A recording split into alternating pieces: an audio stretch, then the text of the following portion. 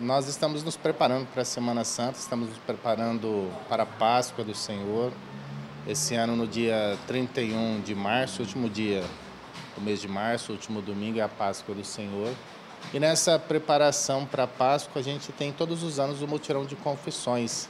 E aqui na nossa paróquia São Sebastião em Alto Garças, vai ser no dia 18 de março, uma segunda-feira, a partir das 5 horas da tarde. Então, desde agora, a gente quer convidar todos os católicos da cidade de Alto Garças que precisem fazer, receber o sacramento da confissão, a se programarem e virem para este dia de mutirão de confissões. O senhor pode falar um pouco como que vai funcionar essas confissões? Vai ter somente o senhor? Vai ter mais gente? Para quem tem dúvida sobre horário em relação ao horário, data? Vai ser no, no dia 18, a partir das 5 horas da tarde, com a presença de alguns padres de fora.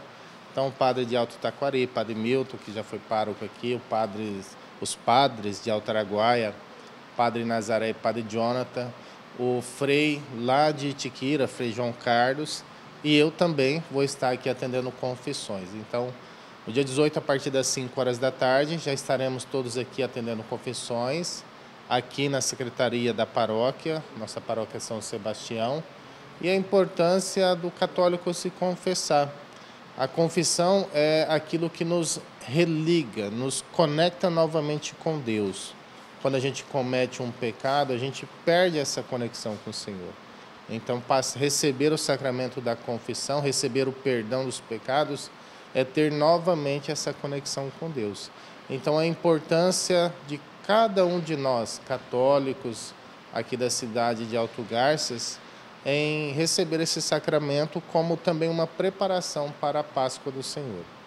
E para quem tem alguma dúvida, é, para quem quer esclarecer algumas coisas, pode estar entrando em contato com alguém?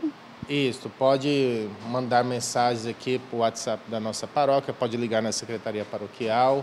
É recomendável que quando você venha se confessar, você procure um exame de consciência, uma listinha daquilo que pode ser pecado, daquilo que de repente a pessoa faz e ela nem sabe se de fato é pecado ou não. Então, na internet tem muitos exames de consciência disponíveis e ela também pode pegar aqui na Secretaria da Paróquia, nós também temos um exame de consciência disponível aqui, onde a pessoa vai fazendo ali o acompanhamento na, pela lista que tem ali e vai vendo se ela cometeu aquele pecado ou se ela não cometeu, para que quando chegue diante do padre, ela não, não fique ali nervosa, né? não, não demore muito tempo, porque ali vão estar muitas pessoas para se confessar, então é um momento assim, da gente ser um pouquinho mais rápido, mais ágil nesta confissão.